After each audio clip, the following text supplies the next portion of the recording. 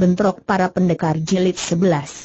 Burung Hang Emas Sekarang kita mau ke mana jelas ke Pek Makan Cheng milik Ciu Kong itu, namanya saja Pek Masan Cheng, di sana memang ada seekor kuda putih. Putih sekujur badan, dari kepala sampai ujung kaki tiada warna bulu lainnya, bentuknya mirip sekali dengan kuda buatan dari batu jade. Kuda putih umumnya dipakai sebagai lambang keagungan, Kuda putih yang satu ini bukan saja indah dan gagah, dia memang kuda jempolan jenis unggul dari Persia. Pek Ma San Cheng juga dihuni seorang pemuda ganteng yang disebut Pek Ma Kong Chu, ilmu silat yang dipelajari dari turunan keluarga murni, ilmu sastra juga dikuasai dengan baik. Maka tiap orang yang membicarakan kuda putih dari keluarga Chiu, insan persilatan di daerah Kanglam tidak ada yang tidak mengenalnya.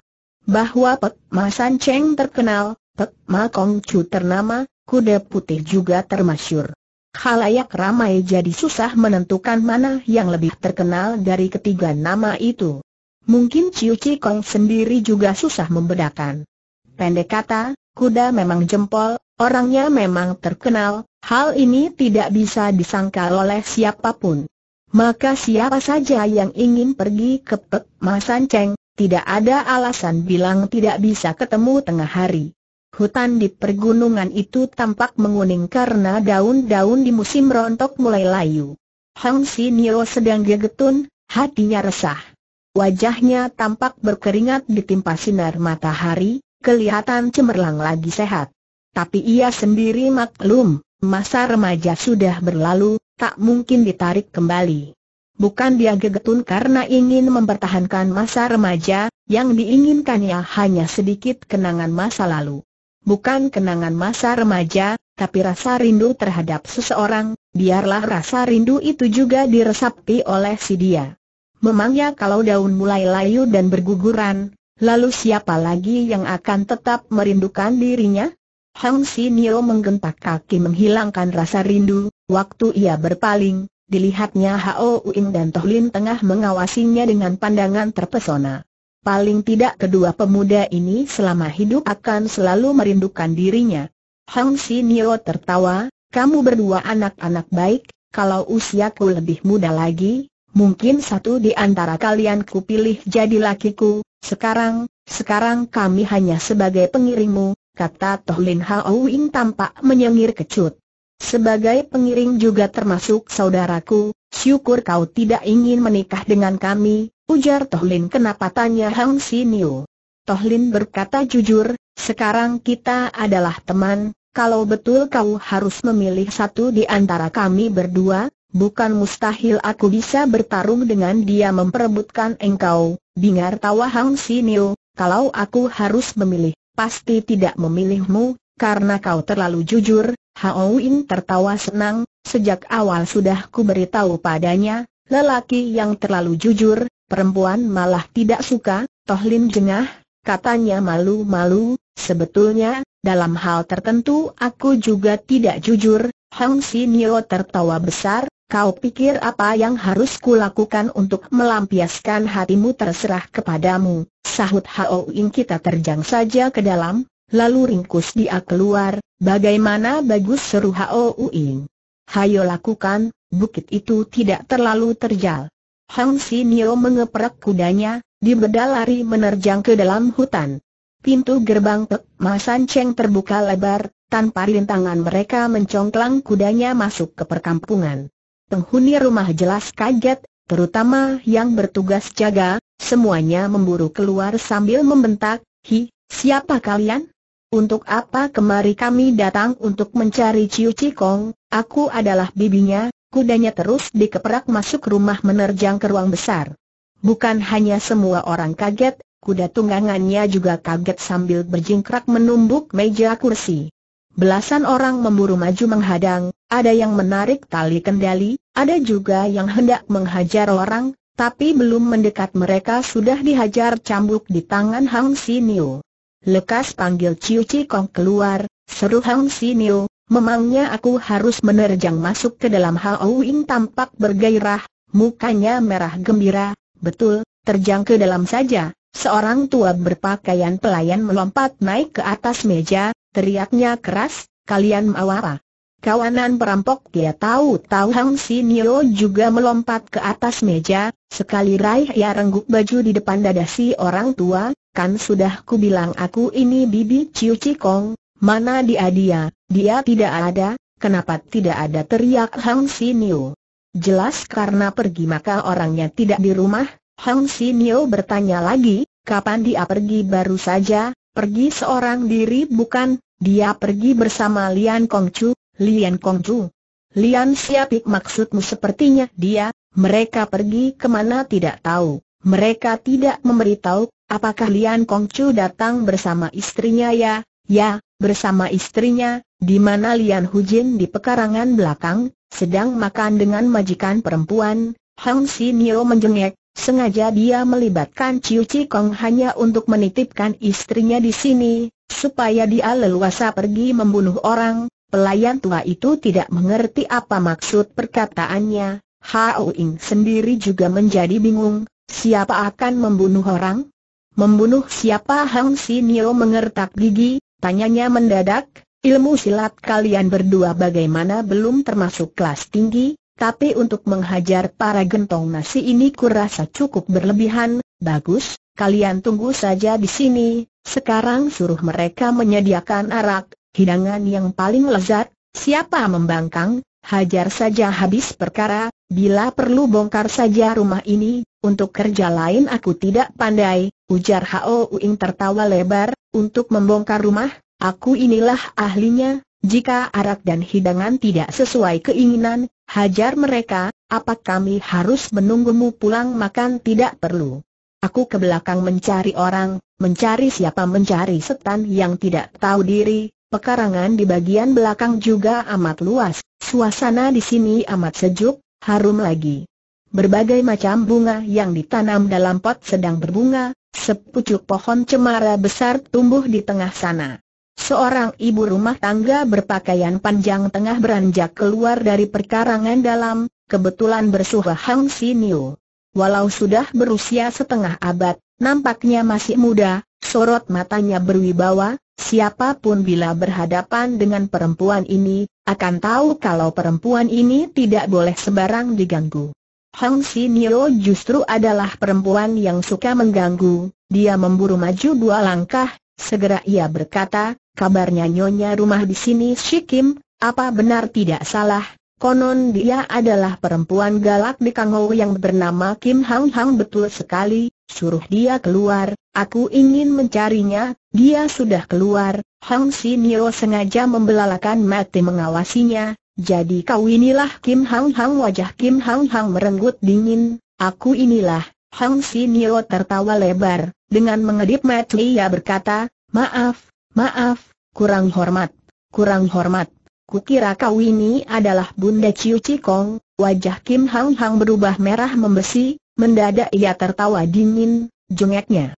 Konon di Kangou dahulu pernah muncul seekor macan betina bernama Hang Sinio, senang menggoda lakiku, sayang begitu melihat dia, lakiku sering tumpah-tumpah, lakimu bernama Ciu Cikong memangnya perlu kujelaskan lagi? Jengek Kim Hang Hang sambil bertolak pinggang. Ah tidak benar.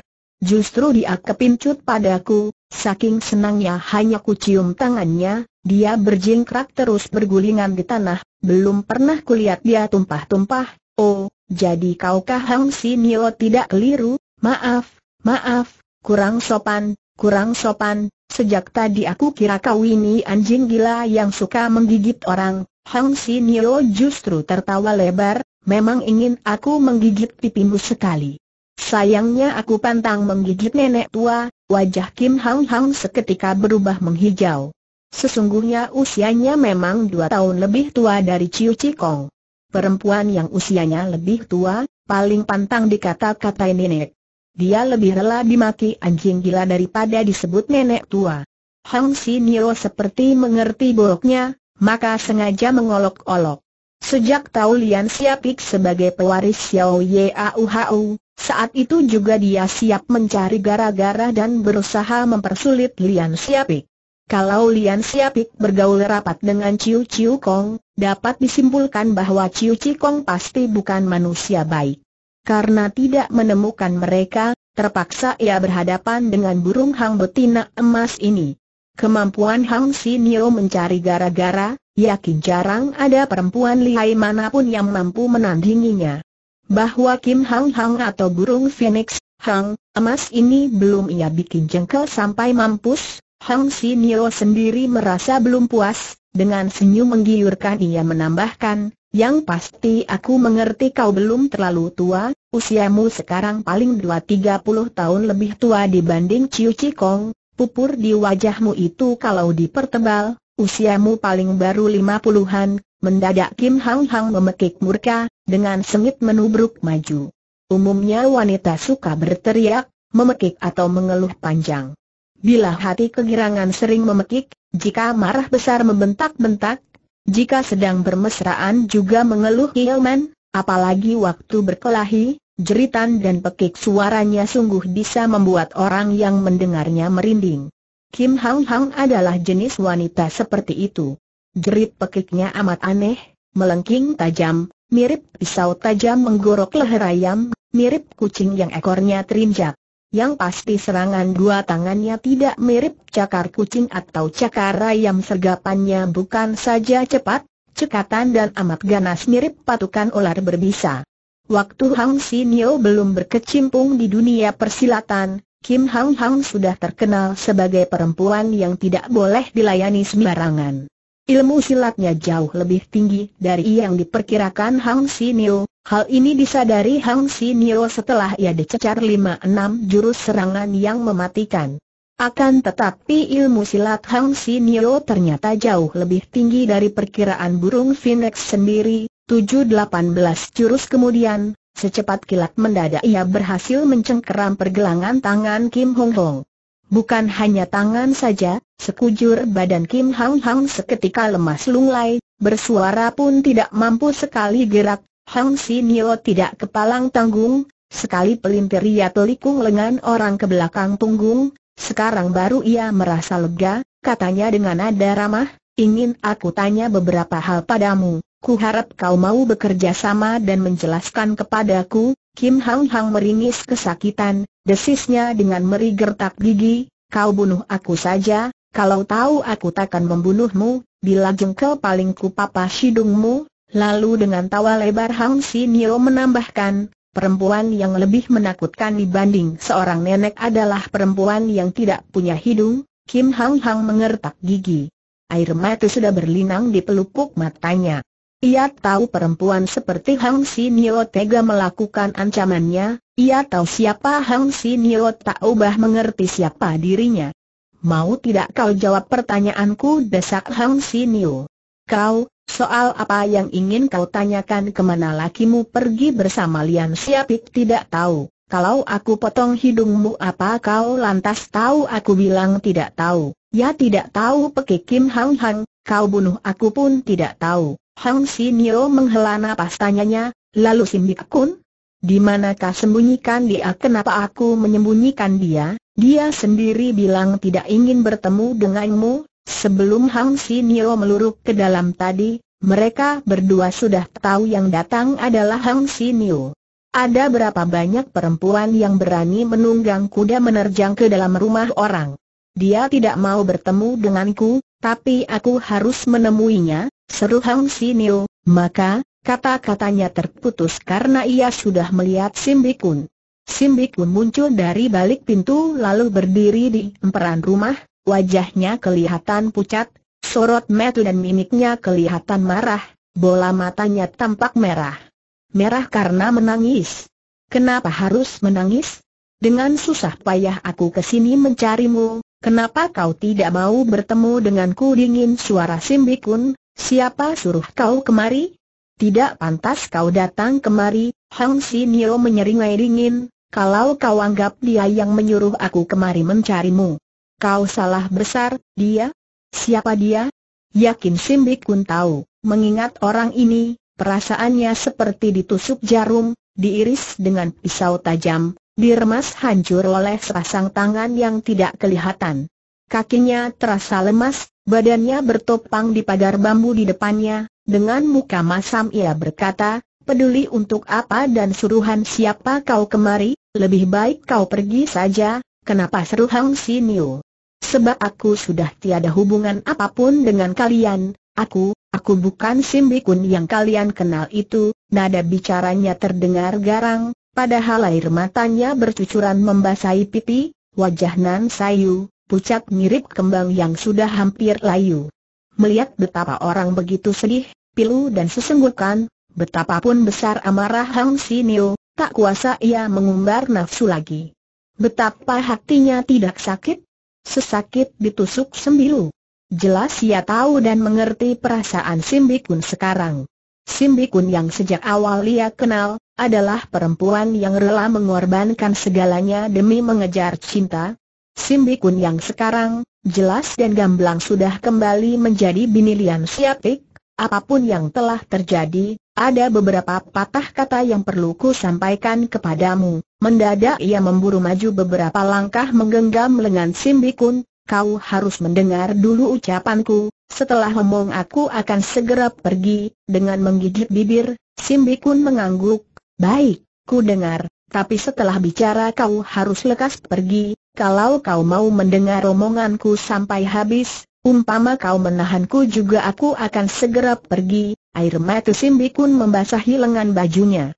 Xiao Capit Long, di manakah kau sekarang?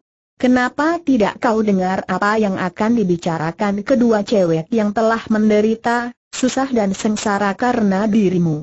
Tahukah kau betapa mereka bersedih, pilu dan tersiksa?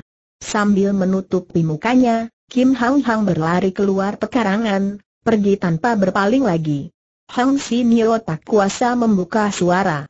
Persoalan memang amat ruwet, terlalu aneh dan misteri, sungguh ia tidak tahu dari mana harus mulai bicara. Simbikun malah mendesak, kenapa kau belum lagi bicara? Akhirnya Hang Si Nio mengangkat kepala, katanya, aku tahu kau membencinya karena kau anggap dia sudah berubah, berubah menjadi Raja Iblis, Iblis laknat yang banyak membunuh manusia, Simbikun menunduk, jari-jari tangannya saling genggam, Kuku jarinya menembus telapak tangannya, bibir juga tergigit pecah, ia sedang menyiksa diri. Dia berharap dengan derita kesakitan badannya untuk melampiaskan, melupakan siksa derita batinnya. Kalau begitu jalan pikiranmu, maka kau keliru menyalahkan dia. Kalau kau tahu duduk persoalan sebenarnya, umpama dipecut cemeti dan mengusirmu pergi, kau takkan rela meninggalkannya, Simbikun mendesis dengan nada tegas, umpama ada orang mengancam jiwaku dengan pisau melarangku pergi, biar mati aku tetap akan pergi. Sebab apa yang terjadi kulihat dengan metu kepalaku sendiri, melihat secara gamblang dan sejelas-jelasnya.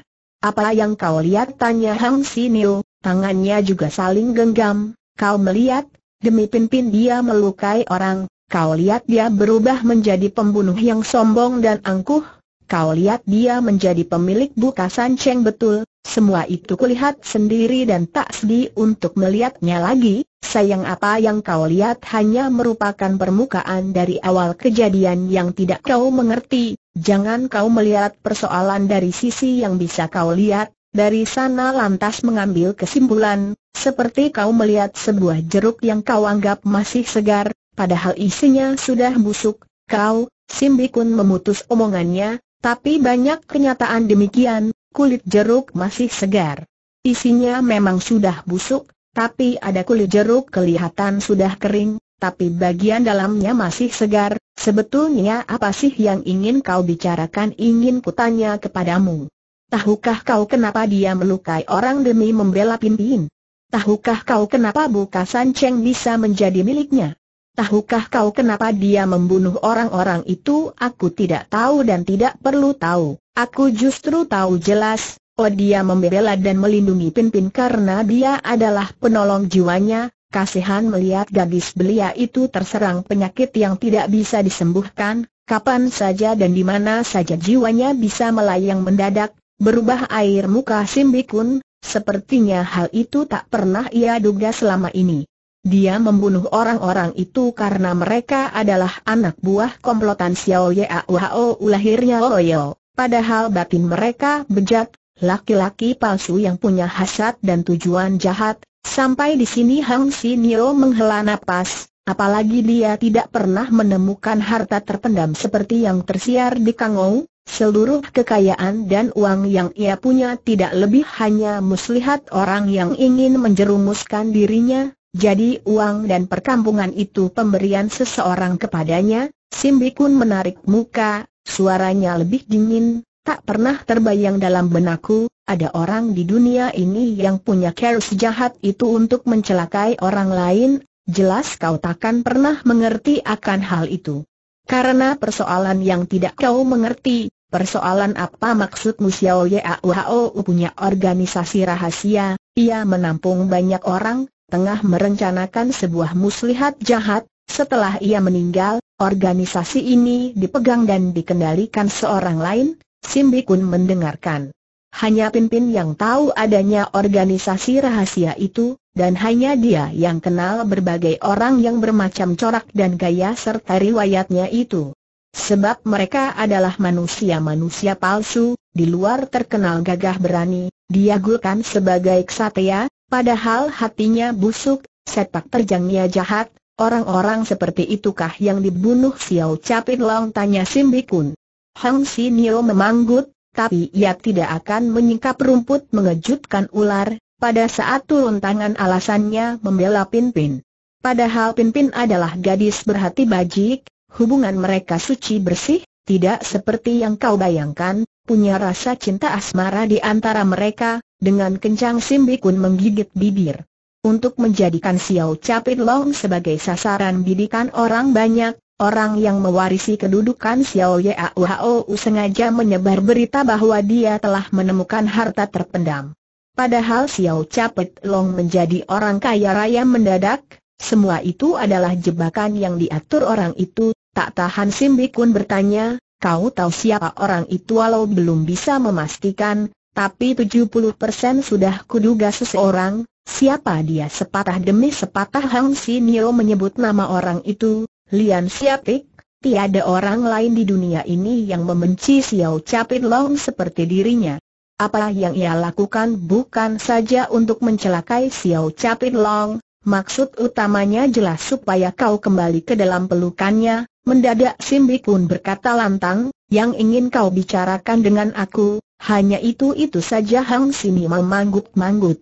Sekarang kau sudah selesai bicara, kenapa tidak lekas pergi jadi apa yang kuceritakan tadi, kau tidak percaya Simbi pun menyeringai dingin, lalu balik bertanya, dari mana kau bisa tahu semua rahasia itu? Apakah Xiao Capit Long sendiri yang memberitahu kepadamu jelas dan pasti, setiap omongannya, apa kau pasti percaya setiap patah katanya ku percaya? Sebab selama aku berkenalan dengan dia, tidak pernah dia membohongi aku, tapi sepatah kata pun aku tidak percaya, kenapa teriak Hang Sinio sengit, apa karena dia pernah menipumu dengan tajam ia menatap Simbikun, lalu dengan tertawa dingin ia menambahkan, dalam persoalan apa dia pernah menipumu? Satu saja kau jelaskan padaku, segera aku hengkang dari tempat ini, dia, hanya sepatah kata keluar dari mulut Simbikun, mendadak ia menyadari meski dirinya selalu merasa Xiao Capit Long telah menipunya, dalam persoalan apa dia pernah menipunya, Hal ini tak bisa ia jelaskan. Sejak hari pertama ia bertemu dengan Xiao Capit Long, tiap detik tiap jam ia selalu berusaha membela, melindungi dan memenuhi segala keperluannya.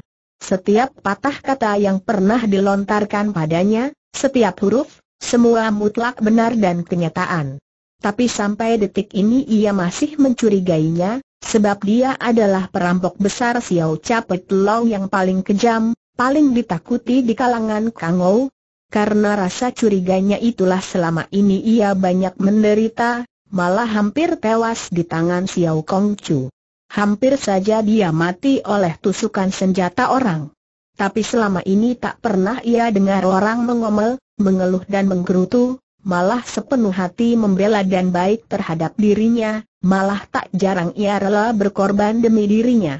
Tak urung Simbi pun merasa menyesal bukan kepalang, diam-diam ia menundukkan kepala, air mata meleleh di pipi.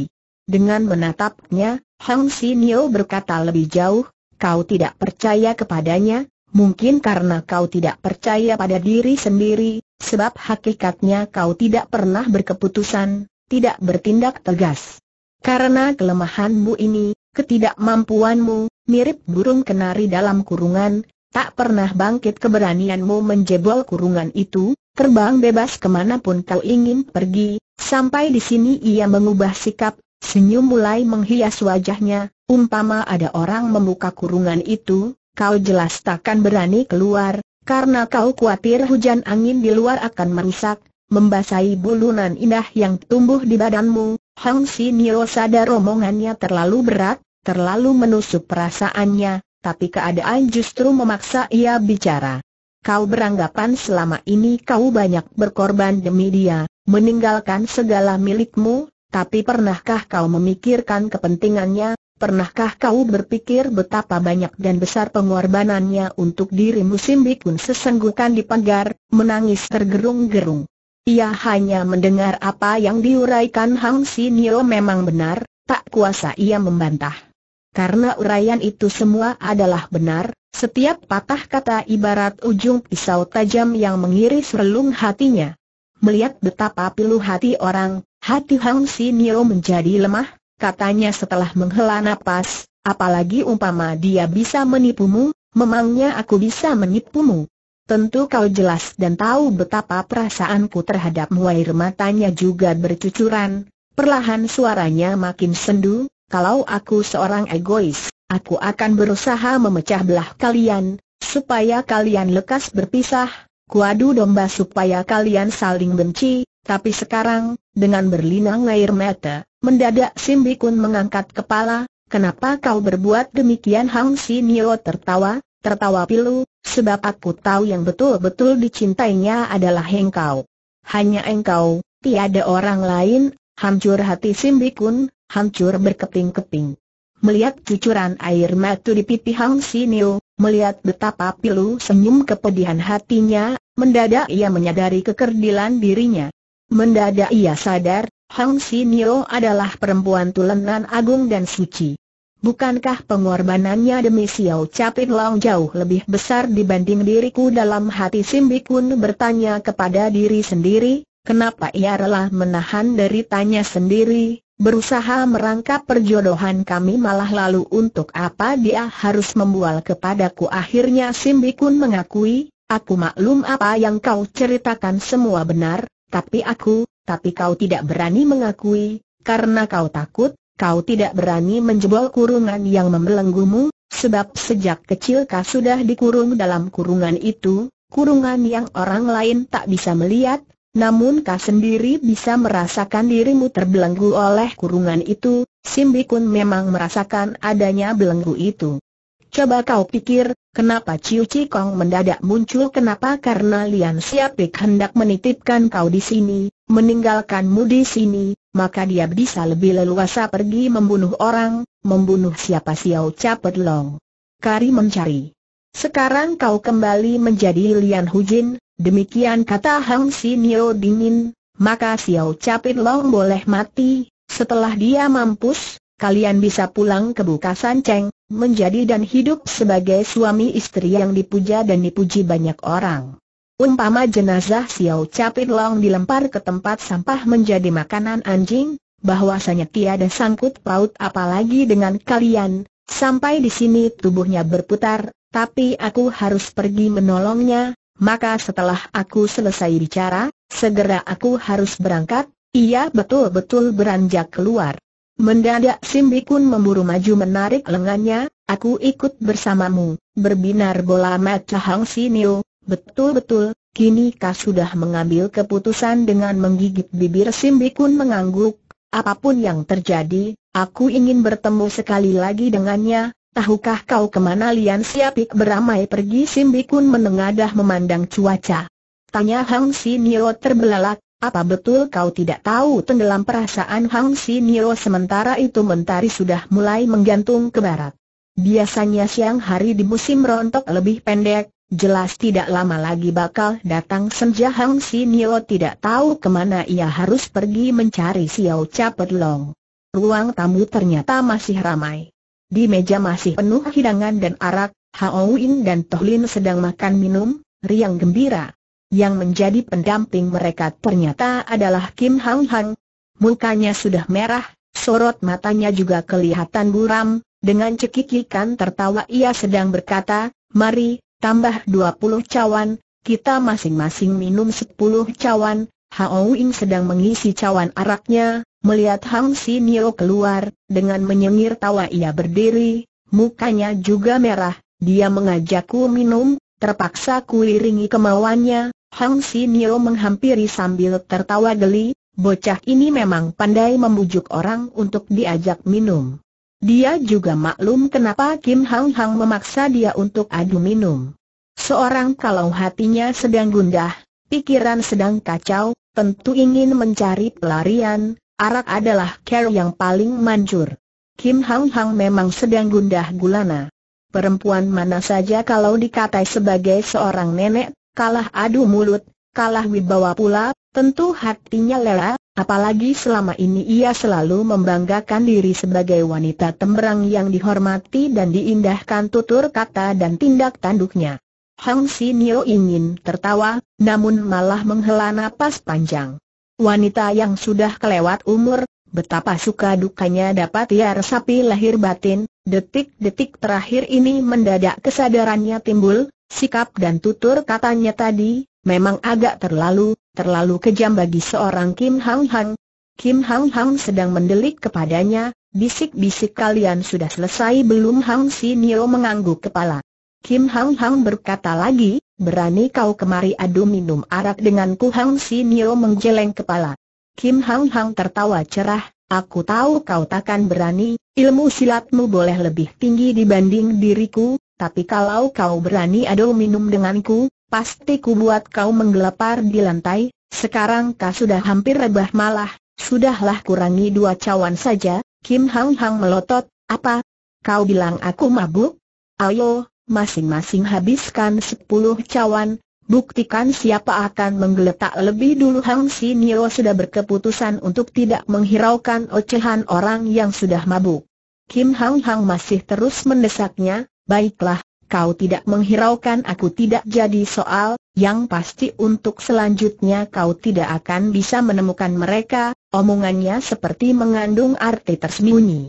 Maka Hang Si Nio segera bertanya, memangnya kau sendiri bisa menemukan mereka? Ciu Cikong adalah lakiku, kalau aku tidak bisa menemukan dia, siapa lagi yang bisa menemukan dia? Kau tahu mereka ada di mana? Tentu tahu, tapi tidak akan kujelaskan, demikian ejek Kim Hang Hang, lalu dengan mengejek tawa menghina dan mata melotot ia melanjutkan, kecuali kau kemari memohon maaf kepadaku, lalu mengiringiku minum sepuluh cawan lagi, berputar bola mata Hang Sinio, mendadak tertawa geli, kurasa kau lagi mengibul, Kim Hang Hang mendelik, aku mengibul soal apa lakimu mau pergi ke mana, kapan dia pernah memberitahu kepadamu, hal ini aku tahu jelas, kau tahu kentut busuk, dan perat Kim Hang Hang. Kalau laki-laki muda punya bini setua nenek-nenek sepertimu, tiap kali keluar rumah mana mau memberitahu ke mana dia pergi, sebab di luar dia bisa mencari kembang goyang yang cantik rupawan, Kim Hang Hang berjingkrak gusar, teriaknya keras, siapa bilang dia pergi mencari cewek? Jelas dia pergi ke Hang Lin Toh, dia, apa yang dikatakan Kim Hang Hang selanjutnya sudah tidak terdengar oleh Hang Sinio. Begitu mendengar Hang Lin Toh, Hang Si Nio langsung menarik lengan Sim Bikun terus diajak keluar. Hao Ing dan Toh Lin ikut memburu keluar pintu gebang, ke mana kita akan pergi ke Hang Lin Toh? Ruang besar itu menjadi sepi, tinggal Kim Hang Hang seorang diri masih duduk terlongong di sana. Kuda meringkik, derap kakinya membedal keluar perkampungan, suaranya makin menjauh. Sorot matanya yang tadi seperti linglung karena mabuk mendadak berubah terang lagi segar bugar, ujung mulut Kim Hong Hong menyungging senyum sadis. Ia tahu umpama mereka mengaduk dan menggeledah seluruh Hang Linto selama sepuluh tahun pasti takkan bisa menemukan Xiao Capit Long dan Lian Siapik. Hang Sinio, Hang Sinio, akhirnya kau tertipu juga olehku, mendadak Kim Hang Hang tertawa terkial-kial, di tengah tawanya, seluruh benda di permukaan meja ia sapu jatuh seluruhnya ke lantai. Tangannya masih memegang sisa cawan yang berisi arak, sekali tenggak ia habiskan isi cawan. Arak yang getir, air matanya kembali menetes ke dalam cawan. Sebab dia memang tidak tahu di mana suaminya berada, dulu waktu masih pengantin baru, ke mana pun ia mau pergi selalu memberitahu dirinya, tapi sekarang, seorang perempuan dikala usianya sudah mencapai senja, Bukan saja tak mungkin meraih kembali masa remaja, dia juga takkan bisa meraih kembali cinta kasih sang suami. Aku bukan nenek-nenek, bukan, pekiknya, lalu ia mendekam di meja, menangis tergerung-gerung. Sayang Hang Si Nio sudah tidak mendengar jerit tangisnya jalan raya yang lurus lempang itu sesampainya di sini bercabang dua. Dermaga Hong Lin harus lewat jalan yang mana entah aku tidak tahu. Aku hanya tahu di Sungai Kuning ada sebuah dermaga bernama Hang Lin. Di wilayah Kang Lam mana ada Wong Ho, di sini hanya ada Tiang Kang. Belum pernah aku mendengar di Tiang Kang ada dermaga yang dinamakan Hang Lin. Kau tak pernah mendengar, orang lain tentu ada yang tahu. Cahaya senja menyinari jagat raya, kini mereka tiba di jalan simpang, tiga, di pinggir jalan sana terdapat sebuah kedai teh. Kedai teh biasanya juga menjual arak, ada hidangan sederhana sebagai teman minum arak. Mungkin di sini para tamu masih bisa menikmati nasi goreng, entah nasi goreng, atau bakmi rebus. Kita bisa mengasuh di kedai teh itu sambil mencari tahu arah jalan, sekalian menangsal perut dan minum sepuasnya. Betul, kalau perut kenyang, kerja tentu lebih bersemangat. Orang muda kalau bekerja tentu tak lupa mengisi perut, Sebab perut kenyang, semangal kerja timbul, gairah kerja akan berkobar. Hari sudah sore, sebentar lagi bakal gelap. Hang Si Nio tidak ingin berhenti, sebelum rembulan muncul, ia harus berhasil menemukan Xiao Capit Long. Kalau kali ini gagal, boleh dipastikan dirinya akan gagal menemukan Xiao Capit Long selamanya. Tapi ia tidak kenal jalan, ia juga perlu istirahat, yang pasti ia sendiri merasa dahaga. Bau arak terbawa angin lalu, masih tercium bau panggang daging, ikan goreng dan yuca kue yang harum. Hao Ing tertawa riang, baunya saja begini sedap, kalau dirasakan tentu nikmat sekali, Hang Si Nio melotot kepadanya, katanya merengut, mestinya tidak kuajak kau, kau terlalu suka makan, lain di mulut lain di hati, bahwasanya dia memang perlu pembantu. Ilmu silat Hao Ying maupun Tohlin cukup tinggi, dari kalangan kaum muda di Kangou, kemampuan mereka termasuk kelas tinggi. Anehnya mereka justru senang menjadi pembantu Hang Si Niu. Simbik Kun tidak mengerti. Selamanya dia takkan bisa memahami orang macam apa sebenarnya Hang Si Niu, apalagi sepak terjang dan tingkah polahnya. Dan cewek ini memang dari jenis yang berbeda, maka nasib mereka jelas jauh berbeda. Dengan menundukkan kepala Simbikun beranjak masuk ke dalam kedai. Selama ini belum pernah ia berjalan segagah, sewajar dan apa adanya dengan langkah lebar, sambil mengangkat dada berjalan di depan umum, belum pernah ia mengunjuk tawa lebar seperti Hang Sinio. Bahwasanya Simbikun memang sudah lama tidak pernah tertawa, tertawa seaslinya, ia sendiri tidak tahu sejak kapan dan sudah berapa lama ia tidak tertawa. Selama ini hatinya kalut, pikiran gundah, apalagi sekarang lebih ruwet lagi. Sekarang umpama berhasil menemukan jejak Xiao Capit Long, memangnya mau apa? Apa ia harus meninggalkan Lian Siapik, tanpa menghiraukan segalanya ikut Xiao Capit Long? Umpama dugaan Hang Si Nio tidak keliru, seluruh muslihat dan tipu daya ini diciptakan Lian Siapik, ia makin tak mengerti apa yang harus dilakukan, Hidupnya ini kenapa selalu dirundung berbagai persoalan yang tidak mampu dipecahkannya, persoalan yang membuatnya resah dan menderita.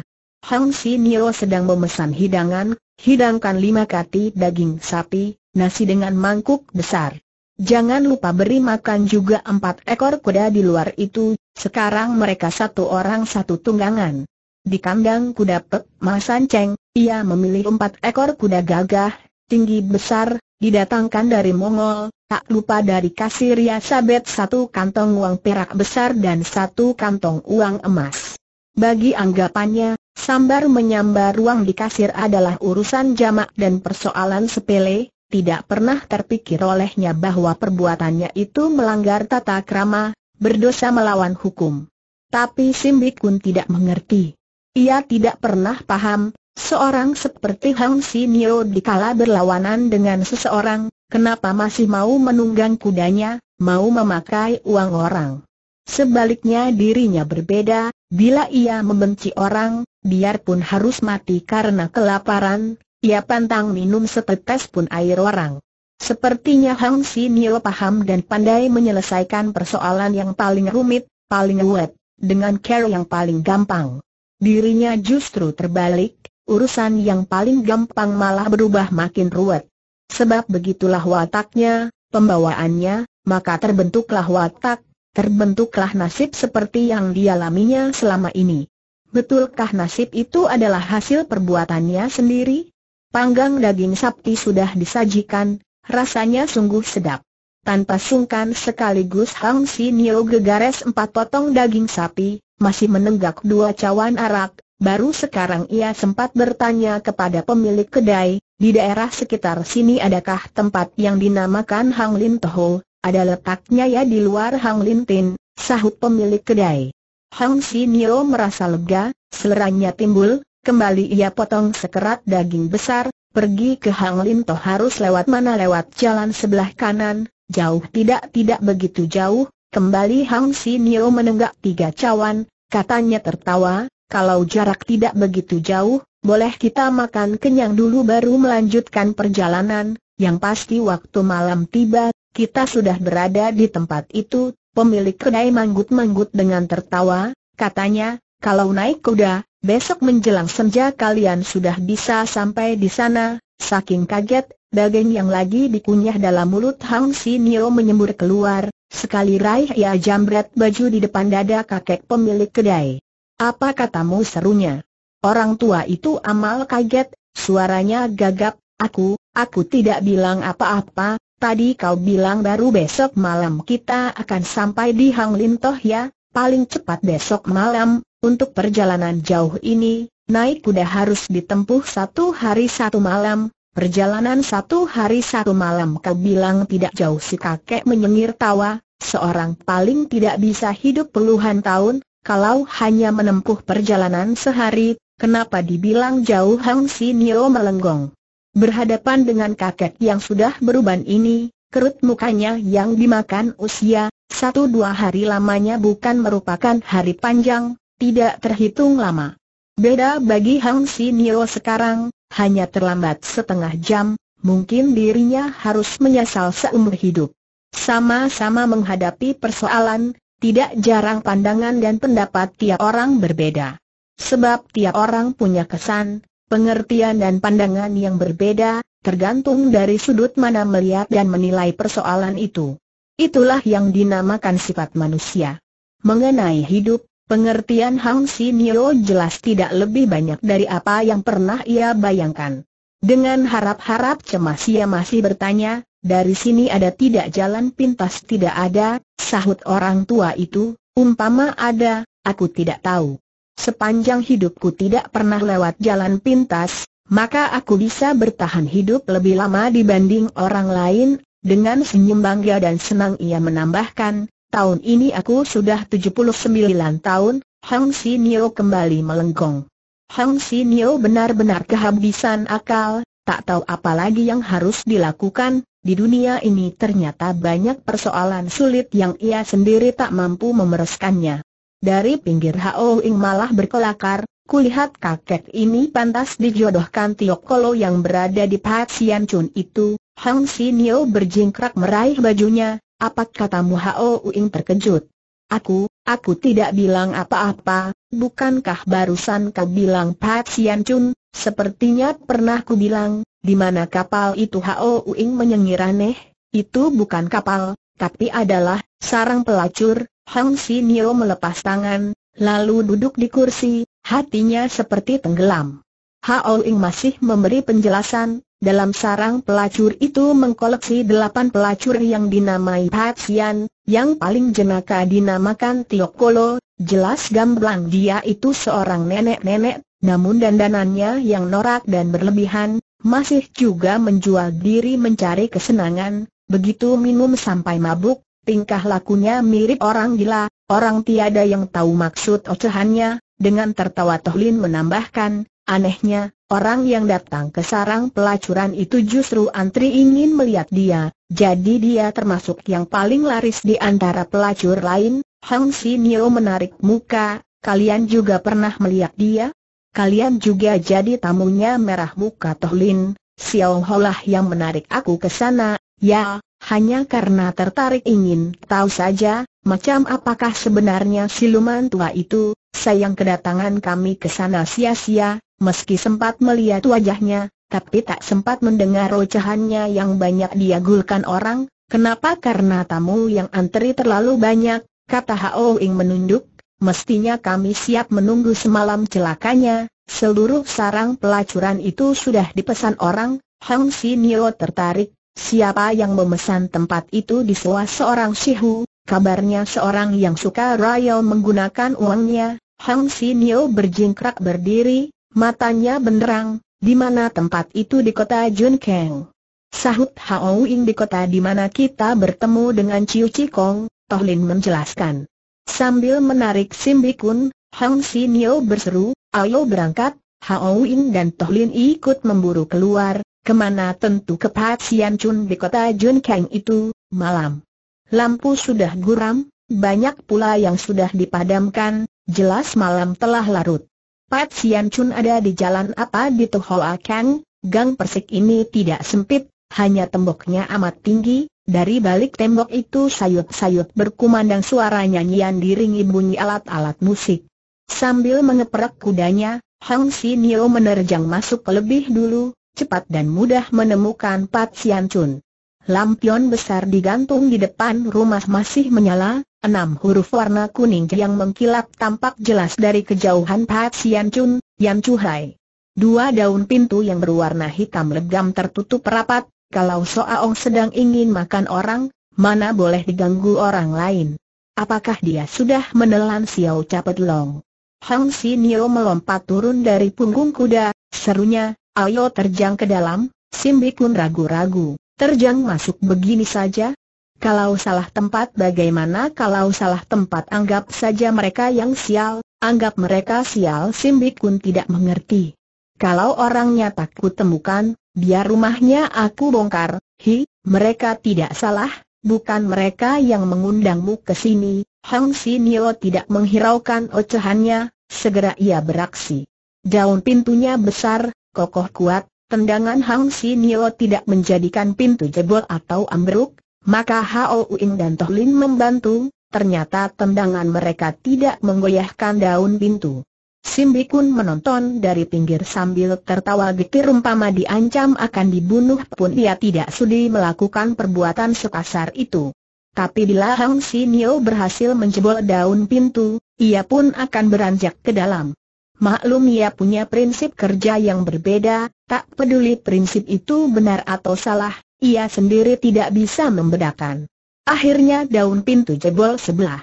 Dengan menarik Simbikun, Hang Si Nio mendahului berlari ke dalam, sepanjang perjalanan ke dalam, tiada orang keluar untuk bertanya, merintangi atau menegur mereka, keadaan di sini ternyata sunyi sepi. Dari ruang besar yang tampak benderang, mendadak berkumandang suara nyanyian romantis. Seorang perempuan yang berpakaian norak, dengan bermacam jenis perhiasan memenuhi rambut kepalanya, di tangan memegang cawan arak, sementara mulut mendendangkan lagu romantis dengan langkah gontai berjalan keluar. Gaun panjang yang melekat di badannya berderai menyentuh lantai, meski tampak mabuk, namun gaya dan gerak-geriknya memang indah dan gemulai di bawah penerangan lampu, dari kejauhan kelihatan cantik. Tapi setelah makin dekat, Hang Si Nio seketika mendekati perempuan ini dan ternyata adalah seorang nenek-nenek, meski bedak di kulit mukanya setebal satu senti, belum mampu menutupi karut merut ketuan di wajahnya. Tio Kolo, seru Hao Ing memburu maju, mana tamu-tamumu Tiok Kolo mengangkat kepala, dengan malas sipit mengantuk menatapnya beberapa kali, lalu tertawa cekikikan geli, aku kenal kau, kemarin kau pernah datang, lalu dengan menghela napas menambahkan, sayang kedatanganmu hari ini sudah terlambat, apakah orang lain sudah pergi? Semuanya belum, belum pergi, ujar Tiok Kolo menggeleng kepala sambil tertawarnya, mana mungkin mereka pergi, umpama diusir dengan pentung juga mereka takkan mau pergi, kenapa-kenapa kau tidak masuk? Melihatnya sendiri Hang Si Nio mendahului berlari masuk, segera ia paham apa yang dimaksud orang. Orang-orang sebanyak itu memang belum pergi, malah selamanya takkan bisa pergi. Ruang besar itu terang benderang, di atas setiap meja yang ada tertata banyak hidangan serba mewah, arak juga dari kualitas terbaik. Setiap tamu yang hadir semua berpakaian perlente, serba baru berwarna-warni dan model mutakhir, jelas mereka dari orang-orang terpandang. Sayang mereka sudah menjadi mayat. Soal Ong Hacialang, Kim Peo Set, Kim Knong Gin Hoan Jan Hao Tu, Tui Hun Choh Buat Cui Siang Biao Le Cheng Hong, Jin Siang Jin, Hamuan Sam Seng, Hamuan Sam Coat. Waktu hidup, mereka adalah tokoh koson, orang-orang gagah yang punya kekayaan dan kekuasaan di masing-masing tempat tinggalnya, sayang sekali sekarang mereka sudah mampus seluruhnya, kepala mereka tertabas golok, sekali tabas jiwa melayang. Siapa memiliki golok seganas dan setajam itu? Siapa mampu turun tangan secepat itu? Xiao Capit Long. Kecuali Xiao Capit Long, rasanya tiada orang kedua lagi. Hang Si Nio berdiri menjublek, sekujur badan terasa dingin. Hati Simbi Kun lebih dingin lagi. Yang mampus bukan hanya enam orang yang itu, kecuali Tiok Kolo di luar yang masih hidup, seluruh yang hadir di ruang besar ini, termasuk perempuan juga tiada yang ketinggalan hidup, mampus di bawah goloknya. Xiao Capit Long, Xiao Capit Long, betapa kejam hatimu. Sepertinya orang-orang itu sudah cukup lama mati, mayat-mayat itu tiada yang mengalirkan darah lagi. Simbikun tak kuasa menahan air mata, bukan merasa sedih karena kematian orang-orang itu, dia pun sedih untuk dirinya sendiri. Orang yang ia cintai sepenuh jiwa raganya ternyata seorang pembunuh berdarah dingin. Perlahan Hang Si Nio menghela napas. Pemandangan di depan mata ini memang teramat kejam dan menakutkan, syukur Xiao Capit Long sendiri belum menemui ajalnya. Sehari ia belum mati, segala urusan masih bisa diselesaikan dan dibikin terang. Mendadak Simbikun berpaling, dengan tatapan tajam ia mengawasi Hang Si Nio, masih kau bilang aku salah membencinya apa pun yang telah terjadi, aku yakin dia bukan manusia kejam seperti yang kau bayangkan, memangnya dia bukan, hakikatnya dia terhitung bukan manusia, kau berani pastikan kalau orang-orang ini semua mati di tangannya memangnya bukan? Pasti bukan. Selama hidup dia tidak pernah membunuh orang yang tidak pantas mati, lalu siapa pembunuh orang-orang ini? Kalau bisa kutanya, Pasti akan kuselidiki, untung di sini masih ada orang yang bisa dimintai keterangan, Tio kalau memang masih hidup, di bawah penerangan lilin yang benderang, Roman mukanya tidak banyak beda dengan mayat-mayat yang bergelimpangan itu. Perempuan ini duduk di undakan batu di depan ruang besar, tertawa cengar-cengir dengan mulut berceloyoh mendendangkan lagu. Lagu romantis yang menggambar seorang yang lagi kasmaran, dalam keadaan dan kondisi sekarang, dendang lagunya itu terdengar begitu memelas, memilukan sekali. Hang Si Nio datang menghampiri, duduk di sebelahnya, tanyanya dengan suara halus, sejak tadi kau berada di sini Tiok Kolo manggut-manggut, peristiwa yang terjadi di sini kau saksikan juga walau aku sudah tua, tapi mataku masih bisa melihat, kupingku masih bisa mendengar, aku kan belum mati, demikian kata Tiok Kolo, mendadak ia tertawa, bocah itu justru menyangka aku sudah mati, pura-puraku mati pasti mirip sekali, bocah itu yang dimaksud tentu pembunuh itu. Dengan pura-pura mati ia berhasil mengelabui orang, maka sampai sekarang ia masih hidup. Seorang perempuan yang sudah bergelut hidup dalam sarang pelacur puluhan tahun, Umpama bukan siluman tua, tentu dia termasuk serigala tua. Seekor serigala tulen, di dalam keadaan apa pun, dia punya cara mempertahankan hidup. Hang Si Nio menghela napas lega, tanyanya pula, waktu bocah itu membunuh orang, kau juga menyaksikan Tiok Kolo manggut-manggut sambil mengiyakan. Semua orang ini dia yang membunuh Tiok Kolo memanggut sekali lagi, mendadak Roman mukanya menampilkan rasa takut, mulutnya menggumam, begitu cepat dia membunuh, dia memiliki golok yang teramat cepat dan tajam, kau tahu siapa dia? Sudah tentu aku tahu. Dia seorang mati, Hang Si Nio melenggong, orang mati mana mampu membunuh sekarang? Dia memang belum mati, tapi dia adalah orang mati, apa yang diceritakan Hao Ing memang tidak salah, bicara orang ini sering ngelantur, tidak jarang orang dibuat pusing olehnya. Hang Si Nio harus menahan sabar, tanyanya pula, jelas dia masih hidup, kenapa kau bilang dia orang mati, karena dia membunuh orang, orang juga ingin membunuhnya, maka usianya jelas tidak akan panjang, maka dalam pandanganku, hakikatnya dia terhitung orang mati, care bicaranya memang putar balik tak keruan, tapi bukan tidak masuk akal. Dengan tawa dipaksakan Hang Sinio bertanya lagi, dia mati atau hidup tak usah diurus, coba kau jelaskan padaku, dia siapa, bagaimana tampang dan perawakannya? Tampangnya bagus, seorang lelaki, sampai di sini ia cekikikan geli, aku senang cowok, terutama cowok ganteng dan cakap, tapi, kenapa lelaki yang ganteng cakap hatinya makin telengas, kenapa lelaki yang makin bagus justru makin tak kenal kasihan, meski dihiasi senyuman, tapi air mata bercucuran di pipinya. Mendadak ia memeluk lutut terus menangis tergerung-gerung, mirip anak kecil yang tidak diberi permen oleh ibunya. Tentunya dia pribadi menyimpan banyak persoalan yang menyedihkan. Siapa pun dia bila sekian belas tahun berkecimpung di sarang pelacur, pasti akan mengenyam banyak pahit getirnya kehidupan, diterpa banyak persoalan yang menyedihkan. Hang Si Nio sendiri juga ikut merasakan kegetirannya. Tentu ia sendiri maklum, Walau Xiao Capet Long bukan orang yang berhati kejam, tapi bukan 100% laki-laki yang tidak kenal kasihan. Tapi dia memang lelaki yang ganteng dan cakap, kenyataan memang memiliki golok tajam dengan gerak secepat kilat apa betul orang-orang itu mati di bawah goloknya. Kenapa ia tega turun tangan sekejam ini? Sekarang dia berada di mana? Simbi pun masih terus menatapnya, mendadak bertanya, Jin Xiang Jin dan kawan-kawan betul mengundang dia di sini Hang Si Nio mengangguk.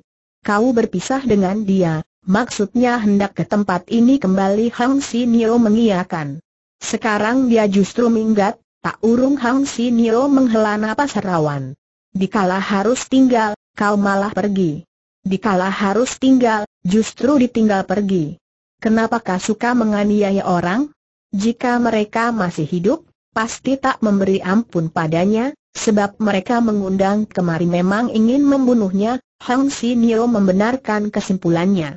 Maka waktu dia pergi, orang-orang ini tentu sudah mati, kalau bukan dia yang membunuh mereka, memangnya siapa pembunuhnya Roman mukanya membayangkan duka dan lela, air mata bercucuran, mestinya aku tidak perlu datang, dan kau juga tak usah kemari bahwa dia tidak ingin membawamu ke sini, karena dia tidak ingin kau menyaksikan dia membunuh. Kenapa kau datang? Kenapa pula aku ikut ke sini sembari bicara, air matanya mengucur makin deras, makin deras air matanya, langkahnya makin lambat, meski lambat dia tidak berpaling lagi. Hang Si Nio tidak menahannya. Seorang kalau sudah kepalang sedih, siapa bisa merubah pikirannya? Entah berapa lama kemudian, Baru Hang Si Nio sadar Tiok Kolo sudah menghentikan tangisnya, tubuhnya tampak lemas seperti hampir roboh ditiup angin. Tak tahannya mengulur tangan menariknya. Tangan orang teramat dingin, lebih dingin dari hembusan angin, dingin lagi kering, mirip daun layu yang terhembus angin. Demikianlah tubuh Tiok Kolo roboh dalam keadaan loyo.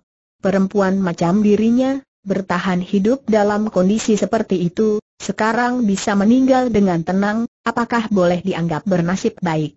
Tapi kematiannya sungguh memelas, mati dalam kesepian, kalau bisa mati lebih dini, waktu usia masih muda, waktu wajahnya masih cantik, mungkin ada orang merasa sedih akan kematiannya. Sayang kematiannya sekarang badannya bukan saja loyo, tubuhnya sudah kering kerontang. Bukankah ini nasib jeleknya?